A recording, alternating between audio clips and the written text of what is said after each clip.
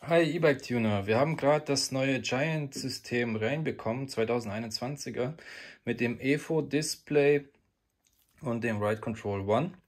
Das hat sich nicht geändert, das ist gleich geblieben. Nur das Display ist jetzt dazugekommen und es gefällt mir richtig, richtig gut. Es ist scharf und hell und sieht auch echt gut aus. Das, da schalte ich die Stufen hin und her. Oder die Daten kann man auch hin und her äh, anzeigen lassen. Also ich bin da echt äh, baff, dass die das gemacht haben. Hatte ich nicht erwartet. Jetzt bin ich mal gespannt auf Highbike, was die dann rausbringen. Also hier ist noch das äh, Neon, neue Neon daneben. Ist nochmal größer und dicker.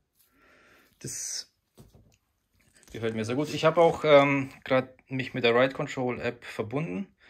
Da stand dann oben links noch ein Bluetooth-Zeichen.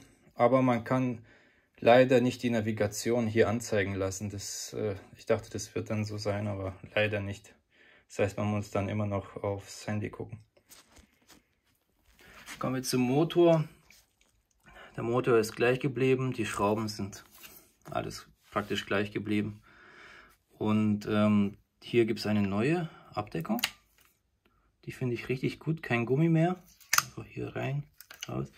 Und natürlich ein neuer Anschluss für den 625 Wattstunden Akku. Jo, ich glaube, das wird richtig eklig, hier einen Tuning-Chip einzubauen. Da müssen wir uns was einfallen lassen und ein Video machen. Also danke fürs Zuschauen und bis zum nächsten Mal.